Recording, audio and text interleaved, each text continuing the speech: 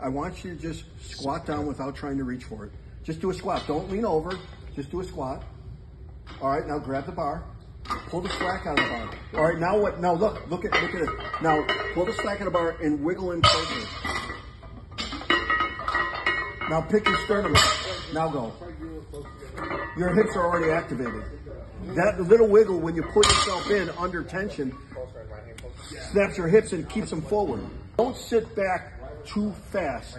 If you sit back too fast, you take the push out of your quads, which negates a lot of your initial speed. So don't sit back so far. Just change it like this much forward. Stay forward before you go back. Set your hips so low. Right. Right here is better, John. When I did my right leg before. There you go. Better. See?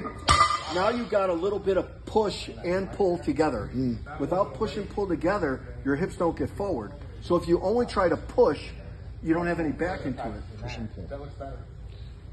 Pull the slack out, get into it. There you go. Pull. Damn.